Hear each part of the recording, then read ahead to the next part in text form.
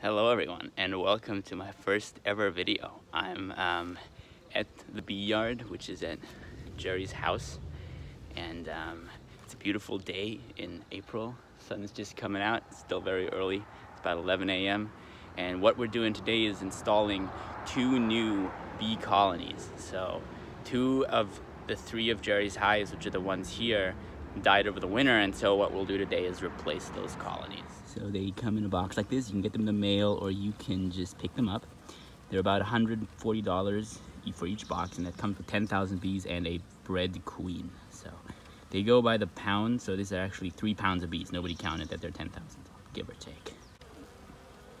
So they are just kind of huddling down right now and they got an inverted sugar feeder here. So they have some sugar to eat, but um, they've just been in the car for two hours. So they're probably very confused, but you know, they're very, very gentle right now, and you know they won't really hurt me because they're in swarm mode, which means they don't have a home to defend, and bees will only really sting if they have a home to defend. So these are just, these are just out, you know, to love you and not to, not to hurt you.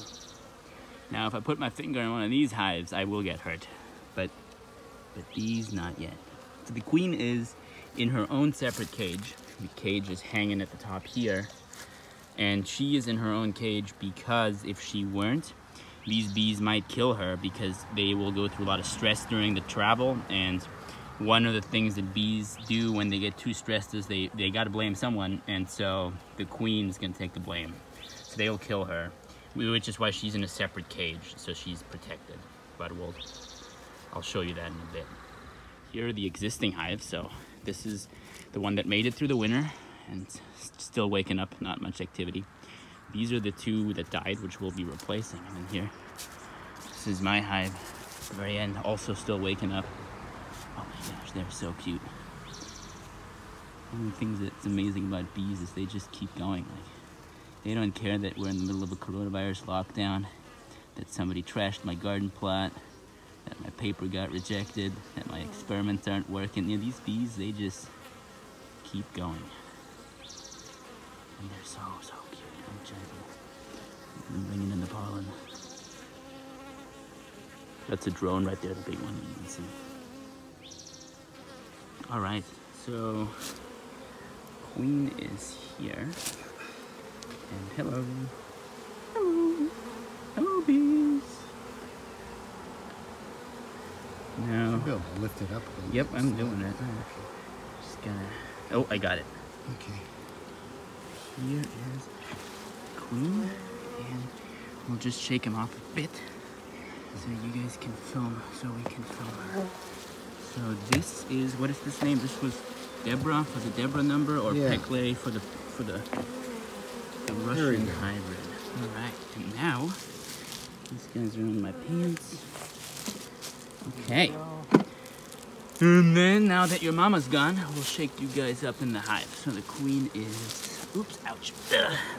So the queen is in there on this frame, Right. and the bees are still in this box. Now they will find the queen because she smells good, and then they'll come and get her.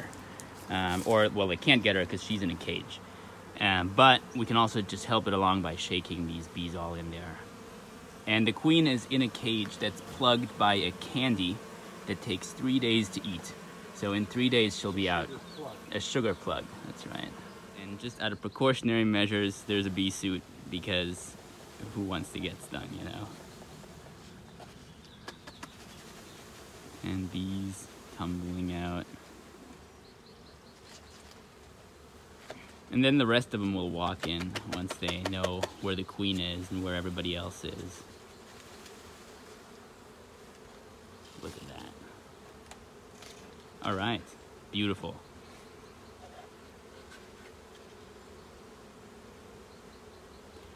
So I thought they were peaceful, but they are Russian, so a little bit, I should edit that out.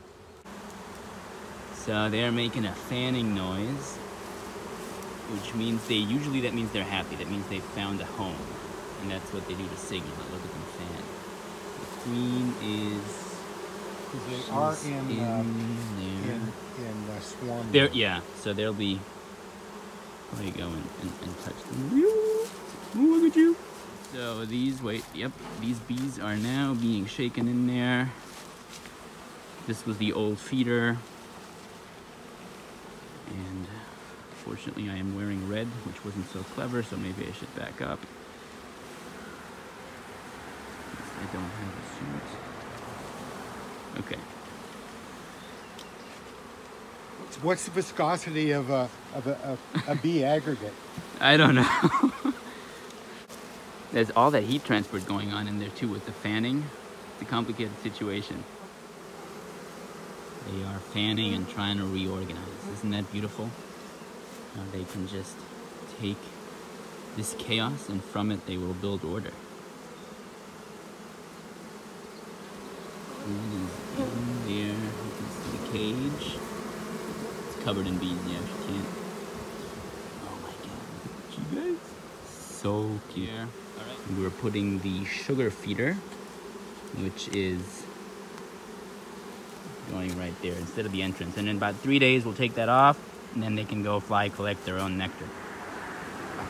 No All more right. free lunch. That's right, just like grad school right now, closed down. Hmm. My food budget is through the roof. That's an aside. All right. So that's it. Now all we really do is wait for these guys to crawl in, and then we'll close it all back. Oop, close it all back up. And in three days we can open it up here, and then they'll start coming out and collect nectar. Jerry Fuller, and you just met Tim. Tim uh, was a, a student of mine when he was an undergrad in chemical engineering. Now he's a PhD student in bioengineering, and uh, we're both avid beekeepers, although Tim has become my teacher.